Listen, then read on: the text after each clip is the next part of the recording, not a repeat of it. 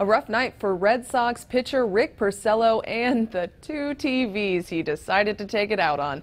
After giving up a run in the first inning, broadcast cameras caught Porcello smashing two televisions in the dugout with his fists before heading into the tunnel. You can see that video on our CBS Boston article. Porcello told ESPN, quote, I kind of wish I did that without cameras being on me. I apologize to everyone that had to see that. It's not behavior that I feel like is representative to me and my personality. The frustration got the best of me. The night did not get any better. Porcello gave up four runs in the second inning, and the Red Sox lost 8 to 5. Katie Johnston for WBZ News.